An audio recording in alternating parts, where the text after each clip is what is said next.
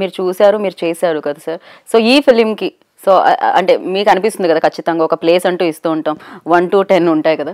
So అలా మీకు ఎలాంటి ప్లేస్ని ఇస్తున్నారు మీరు దీన్ని? మ్యూజికల్గా కానీ స్టోరీ పరంగా కానీ నేనేం చేయగలను ఆ సినిమాని చూస్తాను కానీ ఆ సినిమాని జడ్జ్ చేసే అదే అదే మా దీంట్లో ఉండదు.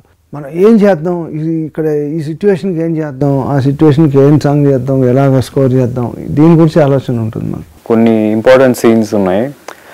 అప్పుడు మణి గారు కూడా ఆ సాంగ్ చూసి "ఆ, భలే చేసావు మంచి ఎమోషన్ క్యారీ చేసావు అంటున్నారు. మేము యాక్చువల్లీ షూట్ చేసేప్పుడు మీరు మీరు గుర్తుపెట్టుకొని రేపు థియేటర్లో చూస్తున్నప్పుడు కనెక్ట్ అవుతుంది నేను చెప్పేది. ఇప్పుడు మేము కూడా ఏంటంటే అక్కడ సాంగ్ ప్లే చేసాం. లైవ్గా రియల్గా ప్లే చేసి జనరల్గా మాంటాజ్ సాంగ్స్ కానీ ఒక సీన్స్ బేస్డ్ సాంగ్స్కి సాంగ్ ప్లే చేయరు. ప్లే చేసి ప్లే చేయడం వలన మూడ్ క్యారీ చేయడం కూడా ఈజీ అయిపోయింది. మీరు ఏ కాంటెక్స్లో చెప్తున్నా రేపు మీరు చూస్తే అర్థం అవుద్ది. అంటే మొత్తం చెప్పలేము ఇప్పుడు. ఆ సగం సగం కనిపించి కనిపించినట్టు వినిపించి వినిపించినట్టు. అలా మీరు చెప్తున్నారు.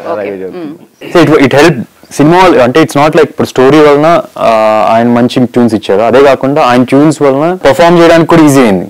To people to perform also inspiring each inspiring each అదే story inspires music music inspires Actors. Okay నీ క్వశ్చన్ చెప్ప. కొద్దిగా మన సినిమాకి సంబంధం క- కొద్దిగా పక్కకే.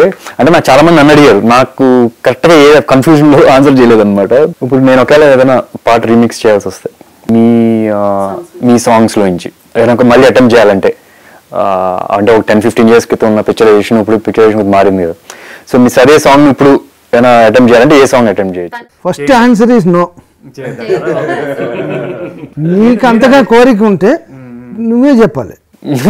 నాకు కోరిక నాకు ఎలాగో కోరికలు ఉంటాయి కానీ ఒక భయం కూడా ఉంటుంది కదా. ఇప్పుడు చెప్పాలో వద్దో తెలియదు కానీ ఇట్స్ సర్ప్రైజ్ అంటే my son wants to remix one song oh okay if it all ఈ does a film with Ram Charan నేను చిరంజీవి గారికి చేసింది రామ్ చరణ్కి వాడు రీమిక్స్ చేసి ఈ పాట చేయాలి పాట ఆ పాట సస్పెన్స్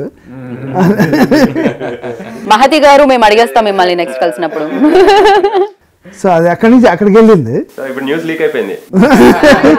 యా యా, అంటే కొంచెం వరకు తెలిసిపోయింది ఎంతో కొంత తెలిసిపోయింది.